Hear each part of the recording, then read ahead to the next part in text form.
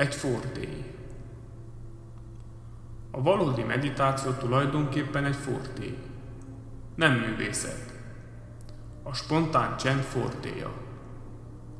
Ha 24 órán át figyelsz, minden nap találsz majd néhány olyan pillanatot, amikor automatikusan csendbe zuhansz. Ezek a pillanatok maguktól jönnek el. Olyan, mintha nem figyeltünk volna. És amikor eljönnek ezek a pillanatok, egyszerűen hagyj abba mindent, amit éppen csinálsz. Ülj csendesen, és áramolj a pillanattal. Ezek a pillanatok eljönnek, mert természetesek. Néhány ablak mindig kinyílik magától, de mi annyira elfoglaltak vagyunk, hogy sosem veszük észre, hogy kinyílt egy ablak. Nagyon lefoglal a munkánk. Ezért figyelj! Kora reggel, amikor friss vagy egy hosszú, mély alvás után, és a világ éppen ébredezik. Énekelni kezdenek a madarak, és süt a nap. Ha azt érzed, hogy a pillanat körülölel, és növekedni kezd benned a tér, akkor egyszerűen vesd bele magadat. Ülj csendesen egy fa alatt, egy folyópartján, vagy a szobádban, és egyszerűen csak legyél. Ne csinálj semmit.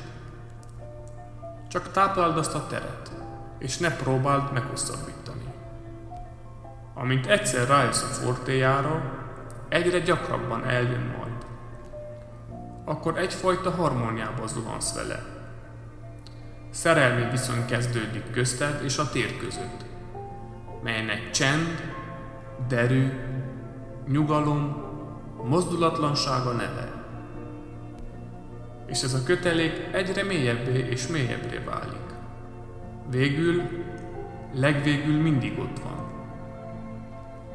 Bármikor lehunyhatod a szemedet egy pillanatra, és beletekinthetsz, ott van. Szinte meg tudod érinteni, tapinthatóvá válik. De ez a fortély, nem egy tudomány. Ezt nem lehet megtanulni. Magadba kell szívnod. Belső hegy. Amikor tökéletesen csendes és mozdulatlan vagy, és nincs mozgás az elmédben, úgy érzed magad, mint egy nagyszerű, hófőtte hegycsúcs. A hegy mindig vonzotta a meditálókat. Van ott valami a hegyekben.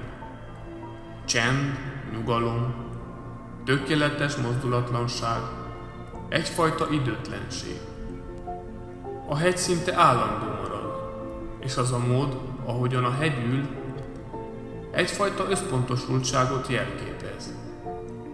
Olyan, mintha a hegy mély összpontosultságban lenne.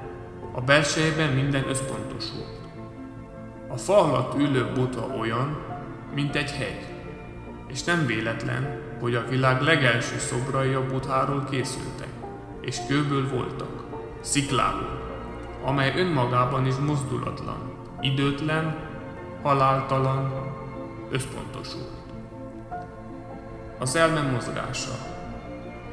A gondolatok, a vágyak, a képzelet és az emlékezet boldogtalanságot teremt.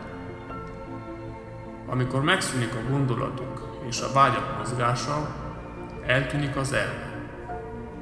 Te vagy, de nincs benned elme. Az elmenélküliség állapota bepillantást enged a belső hegyre. Hajnal. Sokan léptek be a létezésbe a hajnalon át. Indiában a hajnal szó az imádság szinonimájá vált.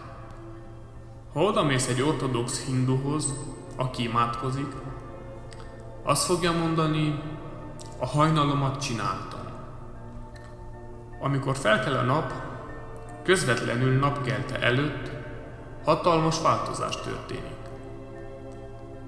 Az egész passzív létezés aktívvá válik. Vége az alvásnak, eltűnnek az álmok. A fák, a madarak és az élet mindenütt újjászületik. Ez olyan, mint egy feltámadás. Ez egy csoda minden nap. Abban a pillanatban hagyod, hogy az élettel áramolj, nagyon magas csúcsra emelkedhetsz. És ugyanaz, a változás történik meg újra, amikor lenyugszik a nap. Minden elcsendesül. Nyugalom, mély csend árasztja el a létezést. Abban a pillanatban elérted a legmélyebb mélységet. Reggel hatalmas magasságot érhetsz el, este hatalmas mélységbe ereszkedhetsz. És mindkettő csodálatos. Akár magasra mész, akár mélyre, mindkét úton túllépsz önmagadon.